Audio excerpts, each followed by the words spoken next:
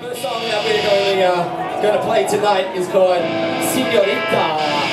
It's about going to a bar, seeing a really nice lady that is so beautiful that you can't help going up to her and dancing next to her, but then in the end, you find out it's a guy. Fuck that, eh? Senorita, everybody! Are you guys ready? Are you ready to rock?